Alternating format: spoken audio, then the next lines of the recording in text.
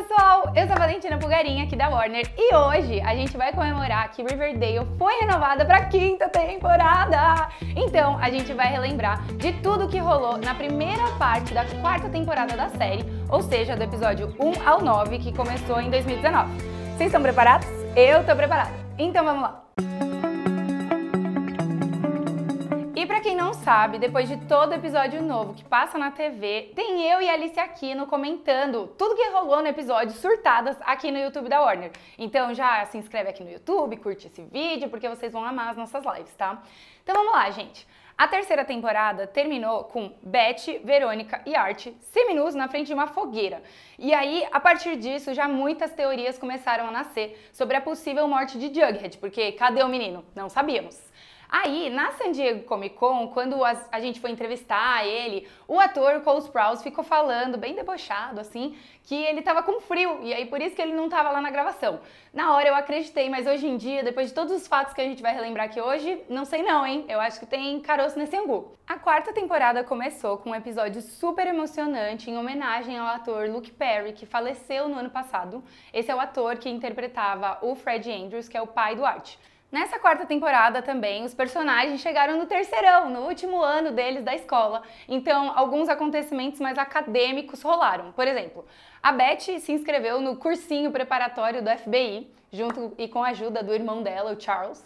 É, a Verônica começa a se inscrever em várias faculdades chiquérrimas, dessas que sempre aparecem em filmes, como Harvard, Yale e etc. E o Jughead ele é transferido para uma escola que é uma escola particular e que se chama Preparatória Stonewall e lá ele tem uma aula mais é, focada nos talentos de escritor dele.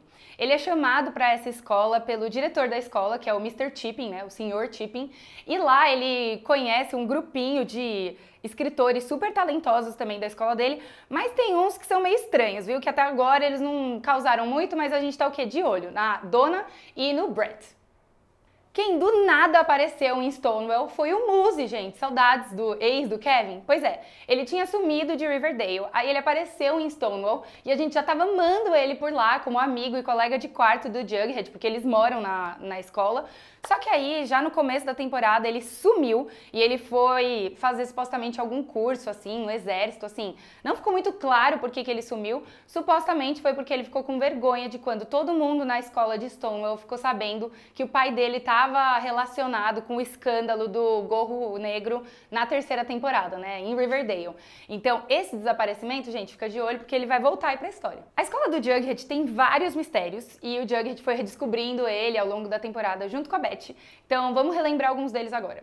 Primeiro que o Jughead adora uma franquia de livros dos irmãos Paxton, que é uma franquia milionária, tipo, todo mundo lê, é um clássico lá na, no universo de Riverdale, e ele descobre que os autores desses livros estudaram Stonewall.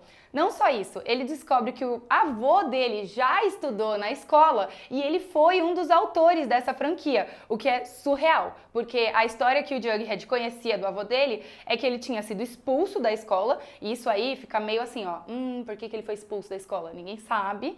E que ele tinha virado, tipo, o pai, né, do FP, e ele bebia e batia na esposa dele e no FP. Então ele era tido como um péssimo pai, um péssimo avô, sabe? E eventualmente um dia ele foi comprar pão e sumiu e nunca mais apareceu. Então, o avô dele também é uma treta aí na história. Outro mistério que ele descobriu em Stonewall é que a escola tem um mito urbano de quatro desaparecidos. São alunos que estudam lá e que de tempos em tempos eles somem, desaparecem. O diretor, o Sr. Tipping, fala que isso é tudo um mito urbano porque na verdade os alunos só saíram da escola. Mas será? Será que não? Não sabemos. Até porque eu fico com medo do Jughead ser um dos futuros desaparecidos, porque ele é um bolsista, tem umas histórias que talvez os outros desaparecidos também eram bolsistas. Estranho, estranho, estranho, estranho. Na quarta temporada, de novo, a gente vê um pouco os personagens meio separados, assim, cada um tem um fluxo de história. Então vamos para a história da Verônica. A Verônica começa a quarta temporada com o pai dela na cadeia e ela acha que vai conseguir incriminar ele por todos os crimes que ele cometeu desde sempre, mas eis que esse homem me aparece com uma irmã perdida, ou seja, uma filha perdida, né? Que é a tal da Hermosa Lodge, que pelo visto morava em Miami todo esse tempo, e ela chega lá, consegue tirar o pai dela de todas as tretas, já ameaça a, Verônica, joga uma chantagem na irmã, assim. Família super, super saudável, gente. E ainda por cima, além além de sair da cadeia, o Hiram consegue virar prefeito e consegue voltar com Hermione. A Hermione tinha se separado dele, porque, né, esses dois não têm uma relação saudável, um tenta matar o outro, etc e tal. Só que eles voltaram. Duas coisas saíram dessa treta Verônica e Hiram na quarta temporada. A primeira é que a Verônica mudou o nome dela para Verônica Luna. Luna era o sobrenome do Hiram antes dele virar esse gangster que a gente super conhece. E além disso, Verônica, sempre empreendedora, ela começou uma marca de rum que chama Luna Rum. Eu amo, quero experimentar, pode mandar para o Brasil, pessoal. E ela usou a receita da avó dela para conseguir fazer esse rum. Só que para fazer esse rum, ela tretou com o Hiram, teve que patentear. Os dois estão tretando muito por causa desse rum. É um novo motivo de briga deles. E aí, já que eles estão tretando tanto e o Hiram simplesmente está atrapalhando as possibilidades de futuro da Verônica nas inscrições das faculdades, quem que a Verônica chama para ajudar ela no jogo? Sim, a pessoa mais poderosa que os dois, a Abuelita Lodge. A gente conhece a avó da Verônica. Vamos falar de coisa boa, vamos falar de Cheryl Blossom, essa mulher maravilhosa, perfeita. A Cheryl na quarta temporada tá, tá puxado, gente. Nossa, o desgaste com essa menina não. Nossa senhora. O que está em foco na vida da Cheryl na quarta temporada é a saúde mental dela. Ela basicamente reabre a ferida do luto da morte do Jason Blossom quando ela mantém o corpo dele, né, o cadáver do Jason na casa dela e ela fica conversando com ele, criando aquele afeto. Sim, o pessoal da produção aqui atrás está chocado com a história. É isso mesmo, pessoal. O que eu ia falar. Mas fiquem tranquilos, porque já nessa primeira metade da quarta temporada e com a ajuda da Tônia, namorada dela perfeita, ela se despede do Jason fazendo um velório super emocionante, jogando ele, né, de um jeito bonitinho, não jogando, de um jeito bonitinho no rio é, de Riverdale. E quem aparece no velório é os amigos, né? Então tem a Tônia, a Verônica, a Beth, o Jughead e o Art, o que é um momento muito fofo nessa temporada pra gente ver todos juntinhos. Para melhorar um pouco mais toda essa crise de ansiedade que a Cheryl está vivendo, os Blossoms mais distantes, né, os primos, tios dela aparecem na série porque eles estão questionando se ela está apta mentalmente para cuidar da empresa de xarope de Bordeaux, que é o maple syrup, né, aquele negocinho lá que eles vendem. Então, ela basicamente se livra deles bem rapidinho numa pegadinha bizarra e assustadora, na qual ela basicamente fala que está servindo o corpo de um dos tios que a Tony assassinou para eles comerem, bem Hannibal. Sim, isso aconteceu. E aí, com isso, né, eu fugiria. Eles também fugiram, fizeram certo. Outro personagem que apareceu na vida da Cheryl é o Julian, que é o irmão trigêmeo dela, que estava na barriguinha da Penélope, da mãe dela, mas que pelo visto a Cheryl absorveu. Então ela se sente um pouco culpada porque esse irmão dela nunca nasceu e ela entra numa noia, gente, gigantesca, porque ela tem um bonequinho e ela chama esse bonequinho, essa esse boneco, gente, boneco mesmo, de Julian e fica conversando com ele, acha que ele tem vida. Gente, doideira. Isso daí se resolve um pouco mais no final da primeira parte, quando a Penélope volta para as nossas vidas. Para quem não lembra, ela estava desaparecida depois que ela assassinou o pai da Beth com um tiro na cabeça dele. Então ela estava sumidíssima, mas ela estava todo esse tempo escondida dentro da casa da Cheryl, dentro da casa da Crystal House, né? E aí, em um momento da série, quando ela acha que a Cheryl tá correndo perigo e vai quase morrer, ela chega lá para salvar a filha dela, mas isso tudo fazia parte do plano da Cheryl para ver se a mãe dela estava por lá. Porque tinha algumas algumas cenas assim da série que a gente questionava, tipo, o boneco Julian do nada mudava de lugar, ela ouvia alguns passos assim no telhado e elas achavam que eram ratos, e na verdade era Penélope lá dentro escondida. Medo. Eu nunca dormiria nessa casa da família Blossom, de jeito nenhum. Deus me livre, credo. Uma pessoa nessa temporada que é muito suspeita, gente, assim, ó, eu não acredito nessa pessoa, é o Charles, que é o irmão perdido que apareceu da Beth do Jughead, filho de Alice e FP, lembra? Ele apareceu no fim da terceira temporada de uma maneira bombástica e ele é um agente do FBI. Bom, a temporada começa com as casas de todo mundo de Riverdale sendo vigiadas e gravadas em fitas cassetes, e todo mundo recebe essas fitas cassetes com imagens e vídeos das casas das pessoas sendo gravadas.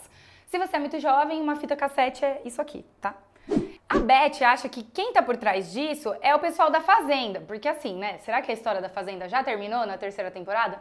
Não sabemos. Mentira, a gente já sabe que não, eu já já vou contar pra vocês. Então, o Charles e a Beth começam a fazer uma investigação em relação a essas fitas, que são bem assustadoras, as pessoas estão sendo vigiadas, e aí que a Beth se sente atraída a entrar na academia preparatória do FBI junto com o Charles. Ele é o professor dessa academia e ela entra junto com o Kevin, porque o Kevin nessa temporada tenta se aproximar um pouco mais da Beth, já que na terceira temporada ele tinha pirado com a Fazenda, abandonado a amiga, então ele tá voltando pro nosso coração, perfeito. Ele é lindo, ele pode voltar quando ele quiser. Então a Beth e o Kevin começam a fazer esse cursinho do FBI e é lá que a Beth aprende junto com o Charles, nas aulas do Charles. Gente, atenção, é o Charles que tá falando tudo pra ela ela aprende um pouco mais sobre o perfil de um serial killer. E não só isso, ela entende que um serial killer normalmente tem um gene, tipo, dentro do corpinho dele, que ajuda ele a ser um serial killer. Isso é algo que alguns cientistas realmente teorizam sobre e Riverdale trouxe para a série. E aí ela descobre que ela tem o gene e que se o pai dela era um serial killer, ela tem ainda mais chances de também virar uma serial killer. E o Charles começa a contar para ela várias características do perfil de um serial killer que ela tem. Por exemplo, ter matado algum bichinho de estimação quando você era jovem. E ela lembra dessa cena que uma vez ela estava com um gatinho dela, o gatinho dela estava sofrendo porque ele tinha sido quase atropelado e tal, e ela pega uma pedra e mata o gatinho dela, sem culpa. Porque ela sabia que era o certo a fazer. Então ela começa a ter muitas crises em relação a se ela é ou não uma serial killer também. Tá, tá, tá. Muito boa, né? Essa parte da série. Por causa dessa conexão com o passado, a Beth acha que é uma boa ela e o Charles fazerem uma sessão de terapia ali com hipnose para ela tanto lembrar dos acontecimentos do passado, para ela entender o que, que ela bloqueou por trauma, como também ressignificar esses acontecimentos do passado para ela não ficar por aí muito triste achando que ela é uma serial killer. Mas, gente, atenção! A hipnose em Riverdale tem um papel muito importante. Para quem não lembra, era essa uma das ferramentas que o pessoal da fazenda usava para manter os seus fiéis ali dentro da fazenda. E no episódio 8, a gente descobre que todo mundo que foi hipnotizado lá na fazenda tem um resquício dessa hipnose. Então, quando eles estão vivendo a vida normal deles e alguém fala uma palavra-chave no ouvidinho deles, eles viram automaticamente um assassino. E eles não são um assassino qualquer, né? Eles tentam matar uma Beth próxima. Na verdade, é uma técnica da fazenda para tentar matar e deixar a Beth com muito medo. A gente descobriu isso primeiro com a Polly, que está internada num hospital psiquiátrico, e quando ela recebeu uma ligação telefônica que falou a palavra-chave para ela, ela matou a enfermeira que chamava Beth, que estava lá com ela, minha gente. E aí, isso não acontece só com a Polly, acontece também com a Alice, a mãe da Beth, que tenta matar a própria Beth. Quando a Beth vê isso rolando com todo mundo, ela entende que ela tem que fazer uma visita para Evelyn Evernever na prisão, e aí ela conversa com a Evelyn e a Evelyn fala para ela qual é a palavra-chave. A palavra-chave que ativa o lado assassino, psicopata, serial killer, sei lá, da Beth, é tangerina dita três vezes. Tangerina, tangerina, tangerina. E não vamos esquecer de Charles, que tá metido nesse rolê todo, ele é muito suspeito. E por que, que eu acho ele suspeito? Porque no episódio 6 a gente descobriu que ele tem um relacionamento com o Tiki, aquele mau caráter que apareceu no final da terceira temporada, que já tinha fingido que era o filho perdido do FP da Alice. Enfim, a gente vê ele visitando o Tiki na cadeia, então o Tiki está lá na cadeia. Mas assim, gente, caroço nesse angu. O que o Charles está fazendo na cidade? Eu não sei. Vamos descobrir no resto da temporada. Outra pessoa que não cansa de causar em Riverdale é o nosso querido Articans. Ele foca muito nessa temporada em fazer crescer o centro comunitário, né, que ele está cuidando. E esse centro comunitário tira crianças é, da rua de Riverdale e afasta elas do crime. Só que o centro comunitário do Arte cria um inimigo, que é o Dodger, porque o Dodger é a cabeça do crime em Riverdale agora e ele trabalha com a mão de obra das crianças que estão indo se divertir no centro comunitário. Então, quando o Art tira a mão de obra do Dodger, o Dodger fica muito pistola e começa a tretar com o Art, ameaçar ele, bater nas pessoas na rua, treta. E aí, no auge de seus 17 anos, Art, nosso Art querido, vira o quê? Um justiceiro. Se mascara de noite e sai batendo em todo mundo, em todos os capangas do Dodger, mas assim, dá umas porradas pesadas, juro. Esse menino basicamente vira um super-herói.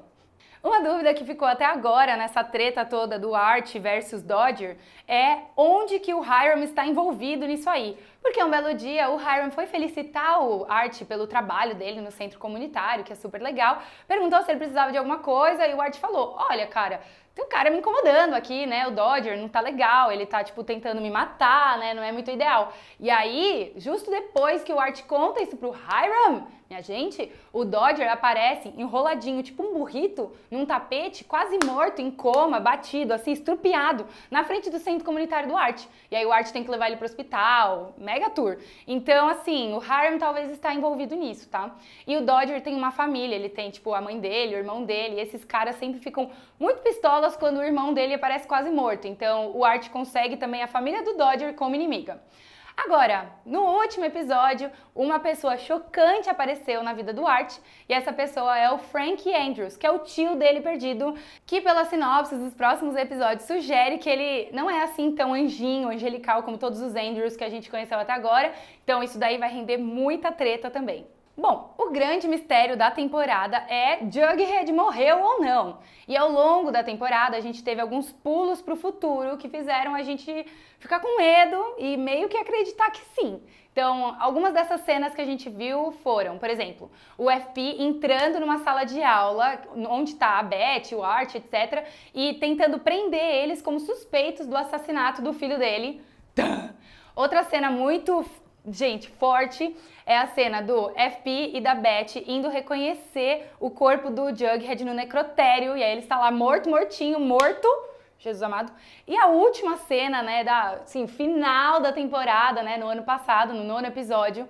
Gente, tô até emocionada de lembrar a gente viu o Jughead jogado na floresta com sangue na cabeça dele, sendo encontrado pela Beth, pela Verônica e pelo Art, e a Beth com uma pedra com sangue na, na pedra, e fez a gente acreditar que a Beth atacou o Jughead do mesmo jeito que ela tinha atacado o gatinho dela no passado dela, naquela lembrança de serial killer. Mesmo com essa cena muito intensa e clara, muitas teorias são estão sendo levantadas sobre isso tudo ser, na verdade, um sonho ou cenas imaginárias de uma história de crime perfeito que o Jughead pode estar escrevendo lá na escola. Ele participou de um concurso para tentar virar um dos próximos autores da franquia dos irmãos Paxton. O tema da história que ele tem que criar é o assassinato perfeito. Então, talvez tudo isso podia fazer parte de uma história que ele está criando ou da vida real, dele tentando fazer essa história na vida real para mostrar que ele sabe como fazer um assassinato perfeito. Eu só espero que esse menino não tenha morrido, gente. Se bater as botas, eu não sei o que eu vou fazer, eu vou chorar, eu não sei. Mas vai dar tudo certo, porque Riverdale já vai voltar e a gente vai descobrir tudo que vai rolar no fim da temporada. E é isso, pessoal. Comenta aqui embaixo se vocês sentiram falta de alguma coisa, se vocês gostaram desse vídeo, assim, para refrescar nossa memória, pra gente voltar na, no pós-hiato a ver o que vai acontecer no fim da quarta temporada. E não esquece de se inscrever aqui no canal da Warner e seguir a Warner nas redes sociais. Beijo e até a próxima. Tchau!